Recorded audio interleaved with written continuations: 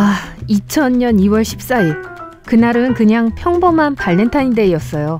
꽃, 사탕, 그리고 새로운 밀레니엄의 시작. 그리고 역사를 만들기 좋은 날이었죠. 1996년 발사된 지구 근접 소행성 랑데부 니어 슈메이커 우주선이 마침내 소행성 433 에로스와 만났습니다. 우주선은 소행성을 그냥 지나치는 것이 아니라 에로스 주변을 돌면서 최초의 소행성 연착륙을 했습니다. 니어는 하마터면 그곳에 도착하지 못할 뻔했어요. 1998년 우주선의 엔진 점화에 실패해 잘못된 궤도에 진입했고 목표물을 빗나갔기 때문입니다. 하지만 엔지니어들은 우주선이 태양 주위를 1년 더 돌게 하기로 결정했고 결국 착륙에 성공했습니다. 니어 슈메이커는 1년 동안 작은 우주 물체를 찾고 목표로 하고 추적하면서 중요한 데이터를 수집하도록 만들어졌습니다. 이 우주선은 소행성 표면 사진을 16만 장 이상 찍었고 그 후 여러 해 동안 연구에 큰 도움을 주었어요. 그 이전에 과학자들은 소행성이 그저 날아다니는 물체의 집단이라고 생각했었죠. 소행성 433 에로스는 우리 태양계의 가장 작은 물체이고 그 주위를 돌고 있는 우주선이 있어요. 언뜻 보기에 이 소행성은 우주에서 볼 수 있는 평범한 암석 같아요. 이 감자 모양의 돌덩어리는 매 5시간 반마다 회전하는데 맨해튼의 두 배 크기입니다. 비교를 하자면 발견된 가장 큰 소행성은 너비가 940km였고 가장 작은 소행성은 약 2m 정도였어요. 소행성은 사실 태양계 초기 단계부터 남아있던 일종의 파편입니다. 우리가 알고 있는 태양은 압축된 가스와 원자가 원시성으로 섞이기 시작했을 때 모양을 갖추기 시작했죠. 태양 주위에 더 작은 파편과 먼지 알갱이가 바위로 만들어졌고 그것들이 서로 부딪히면서 짜잔 훨씬 더 큰 것을 형성했습니다. 이 혼란스럽고 지저분한 파티에서 살아남은 물체들이 오늘날 우리가 알고 있는 행성과 달이에요.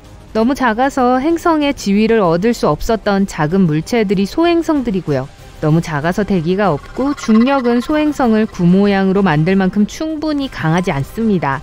그래서 소행성에는 생명을 유지할 수 있는 조건이 갖춰지지 않았어요.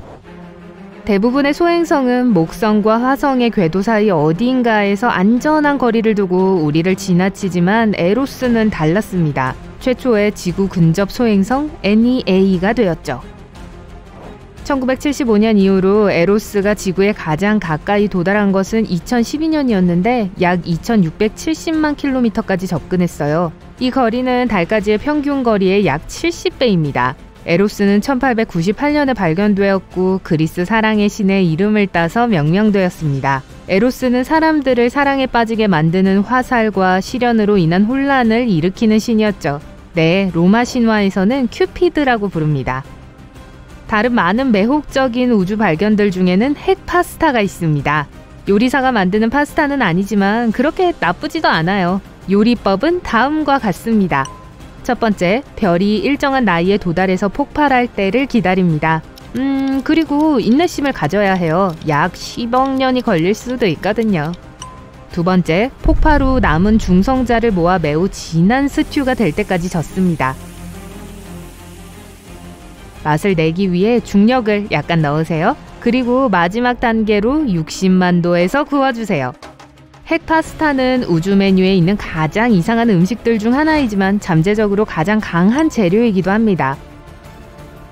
핵 파스타 한 접시를 깨려면 강철을 부수는 것보다 100억 배나 더 큰 힘이 필요합니다. 과학자들은 이 물질이 그렇게 강한 것은 밀도가 매우 높기 때문이라고 믿습니다. 상상해보세요. 110만 개의 지구가 토론토만한 크기로 뭉친 것과 같아요. 오무아무아는 태양계에 온 최초의 방문객입니다. 과학자들이 수십 년 동안 기다려왔었죠. 이 불가사의한 물체는 2017년 10월에 발견되었고 태양계 외부에서 형성된 어떤 큰 물체가 여행하는 동안 조각으로 분리된 것으로 여겨집니다. 하와이 말로 정찰이라는 뜻의 오무아무아는 커다란 우주 오이처럼 생긴 길쭉한 몸체를 가지고 있습니다. 분명히 이전에는 본 적이 없었던 것이었어요. 이는 비중력 가속 현상을 보였는데 가시적인 꼬리나 기체 방출의 표시가 없기 때문에 실제로 어떻게 움직이는지 아무도 모릅니다. 태비의 별은 분명히 우주에서 가장 신비로운 별 중 하나일 거예요. 태양으로부터 청광년 떨어져 있고 태양보다 50%더 크고 훨씬 더 뜨겁습니다. 2015년 과학자들은 태비의 별의 밝기가 22%까지 감소했다는 것을 알아차렸습니다. 큰 먼지 구름 때문이었을 수도 있지만 그러기에 이 별은 나이가 너무 많아요. 무엇 때문에 밝기가 그렇게 크게 감소했는지는 아직 확실치 않습니다. 성우는 먼지, 가스, 그리고 플라즈마의 거대한 구름으로 계속해서 놀라움을 불러일으킵니다. 모양을 바꿀 수도 있고 온갖 다양한 모양을 가지고 있습니다. 달걀 프라이 모양, 머리 모양, 다이아몬드 반지 모양. 붉은 사각형 성우는 가장 매혹적인 우주 물체 중 하나입니다. 하지만 어떻게 어디서 왔는지에 대한 설명은 없습니다. 우주 한가운데서 그저 빛나고 거의 완벽하게 대칭을 이루는 상자 모양을 하고 있어요. 지구에서 약 210광년 떨어진 곳에 검은 고자리라는 별자리가 있습니다. 케플러 37 시스템이 있는 곳이죠. 케플러 37b는 거기에서 가장 작은 행성입니다. 지구 질량이 3분의 1도 되지 않고 달보다 조금 더 큽니다. 과학자들은 이것이 공기가 없고 바위 투성이인 수성과 비슷한 행성이라고 믿고 있습니다. 우리 은하에서 가장 큰 먼지와 가스의 분자구름 중 하나인 궁수자리 B2로 이동할게요. 지구로부터 약 2만 5천 광년 떨어진 곳에 위치하고 있고 우리 은하 중심부에 가까이 있습니다. 연구에 따르면 궁수 자리는 쉬운 개 이상의 다양한 분자를 포함하고 있으며 그중 하나는 산딸기와 비슷한 단맛이 납니다. 아, 맛있는 행성의 발견이라 우주가 점점 더 좋아지는데요. 페르미 버블은 2010년에 발견된 우주광선, 가스, 먼지로 만들어진 신비로운 거대한 두 개의 덩어리입니다. 우리 은하의 중앙 블랙홀 주위 양쪽에 하나씩 있습니다. 버블은 시간이 지남에 따라 우리 은하의 위아래로 확장되었습니다. 그래서 현재는 지름이 약 5만 광년 정도 됩니다. 아무도 어떻게 거기에 생겨나게 됐는지는 모르지만 한 이론에 따르면 약 600만 년 전에 생겨난 블랙홀과 관련이 있다고 합니다. 글리제 436b는 가장 이상한 행성 중 하나입니다. 아주 뜨겁지만 얼음으로 만들어졌어요. 이 행성은 모항성 주위를 완전히 도는데 이틀이 조금 넘는 시간이 필요한 해왕성 크기의 행성입니다. 이 행성의 표면은 섭씨 450도까지 온도가 올라간다고 추정되지만 행성이 엄청난 중력을 가지고 있기 때문에 얼음은 여전히 녹지 않습니다.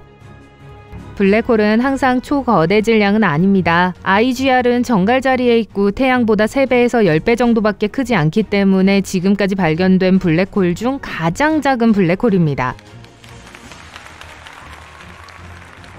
반면에 NGC 3842는 블랙홀이라고 하면 흔히 떠올리는 모습을 하고 있어요. 다른 은하계에 있고 우리 은하 중심에 있는 블랙홀보다 약 2500배나 강하고 거대합니다. 아, 금성. 많은 점에서 최고인 행성입니다. 지구와 가장 가까운 행성, 가장 뜨거운 표면, 반사구름은 지구에서 볼 수 있을 만큼 가장 빛나는 행성으로 태양계의 다른 행성과 비교했을 때 1600개라는 가장 많은 수의 화산을 갖고 있어요. 또한 우주에서 가장 느리게 회전하는 행성이기도 합니다. 금성이 한 바퀴를 도는 데는 지구 시간으로 243일이 걸립니다. 금성은 너무 느려서 완전히 회전하는 것보다 사람이 걷는 것이 더 빠를 수 있어요. 금성은 지구와 반대 방향으로 회전하기 때문에 해가 동쪽으로 지고 서쪽에서 뜹니다. 55 캔크리 2는 지구 크기의 약 2배이며 최고 온도가 2700도에 달합니다. 탄소를 다이아몬드로 바꾸기에 완벽한 조건이죠. 네, 이 행성의 3분의 1은 탄소로 덮여 있고 그래서 이 다이아몬드 물체는 가장 비싼 행성 중 하나가 됩니다. 남극 대륙에서 우주 변화를 관찰하는 과학자들은 적어도 한 달에 한 번 중성미자를 봅니다. 하지만 2017년에 지구를 강타한 중성미자는 정말 특별했습니다. 그 기원을 추적할 수 있는 첫 번째 중성미자였어요. 과학자들은 중성미자가 지구에 도달하는데 40억 년이 걸린다는 것을 발견했습니다. 중성미자는 은하 중심에 있는 거대한 블랙홀로부터 지구로 왔습니다. 그 블랙홀은 주변의 모든 물질을 파괴하고 있었어요. 음, 새 동네에 온 걸 환영해요?